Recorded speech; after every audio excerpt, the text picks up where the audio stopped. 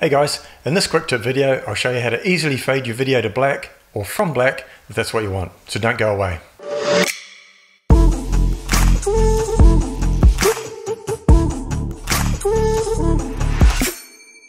Hey guys, and welcome to this Final Cut Pro quick tip. If you like this sort of content, be sure to hit the subscribe button for more videos just like this one. And if you're in a super hurry, I'll put timestamps in the description below so you can jump straight to the part you want. So let's get into it. Sometimes we don't want a fancy transition to start or end a clip. That's when it's nice just to have a simple fade to black.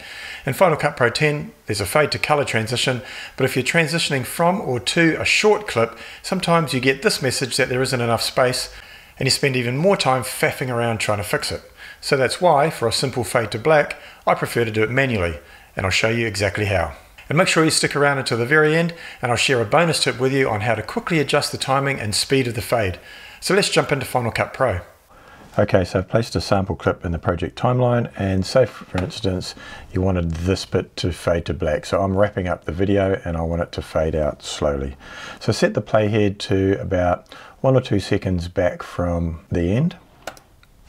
Select the clip, go up here to the video inspector and then next to opacity click the key the keyframe button so that's going to lock in that 100% opacity at that particular point in time Go back down to your clip, hit the down arrow to go to the end of the clip, go back up to opacity, slide it all the way down to zero.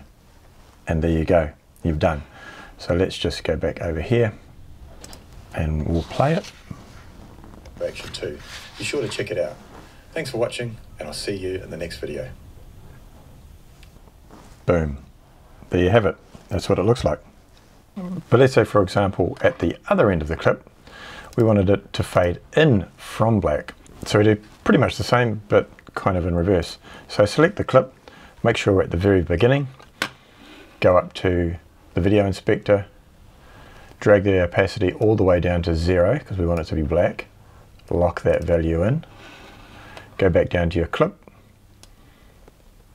move it along a couple of seconds, go back up to your video inspector, drag the video opacity to 100%. Final Cut Pro will automatically put in a keyframe for you. And let's see what that like, looks like. There we go, a nice smooth fade in from black. So here's the bonus tip. Let's say you wanted to slow down or speed up the transition from black to full opacity, or in the case of the end of the clip, from full opacity to black. Here's how. Simply right click on the clip and open up video animation. Up here where it says opacity you will see the keyframes that have been placed at this end of the clip. So if you want to speed up the effect just drag the keyframes closer or if you want to slow it down